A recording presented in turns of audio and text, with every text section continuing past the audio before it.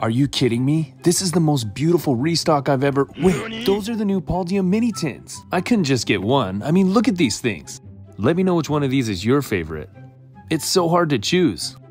Definitely cuteness overload. I really like the Sleepy Fuecoco. Let's see if this one's lucky. Inside, you get a card and sticker that match the tin, and Scarlet Violet and Silver Tempest. Choose your pack, right or left. Let's see what's in the Silver Tempest pack. I hope this Rayquaza VMAX is hiding in there. Comment some dragon and fire emojis if you have it.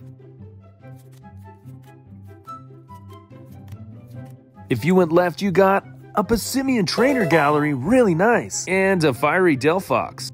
Let's see if Scarlet and Violet can bring the heat. Flip that energy, going dark. Reverse one, energy switch, Greavard, and a Hawlucha kick to the face. Silver Tempest wins, but we still have four more tins. Which of these do you think will be the luckiest?